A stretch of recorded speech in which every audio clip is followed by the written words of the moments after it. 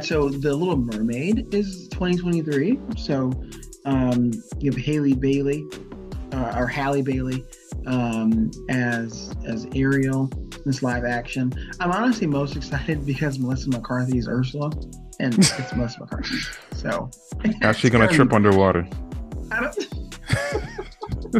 well, I don't know. Maybe we'll see her on land because that does happen in the brief period in the cottage. So I don't know. It's gonna be hilarious if she's Ursula.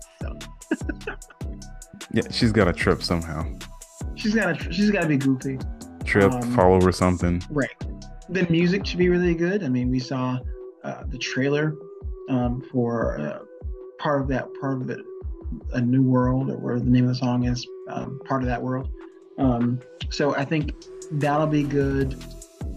Um, the casting seems pretty spot. Lin Manuel Miranda's involved, so it's gonna be catchy.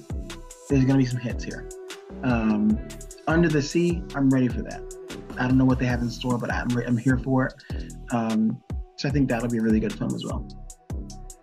Yeah. Um, even though this is real life, I think they should add a cartoonish mm. flavor to it because, especially underwater, because it looks really dark.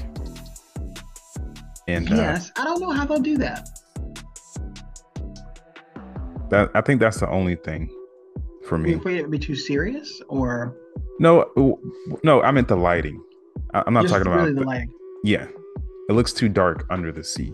I mean, that's real. That's real life, but you you need a little bit of cartoonish stuff in there because am I going to be able to see the fish dancing around?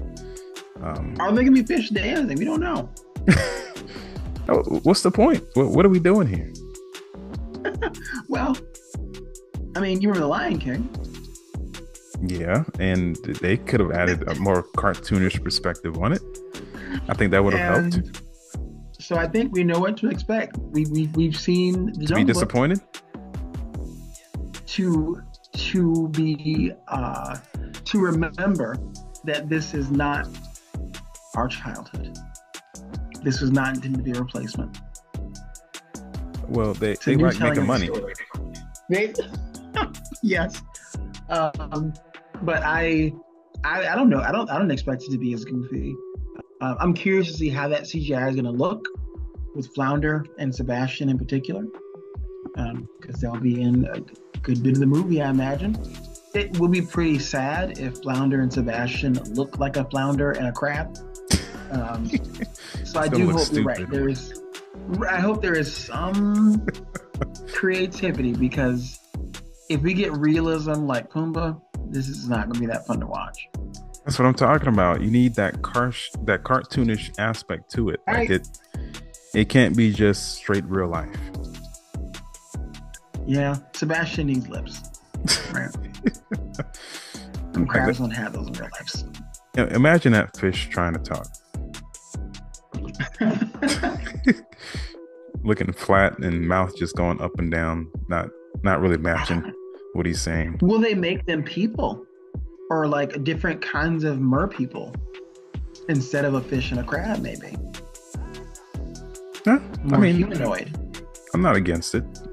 I mean, that, that's a part of making an adaptation. Right. Thanks for watching. And if you would like to be featured on our podcast, make sure to click the link in the description.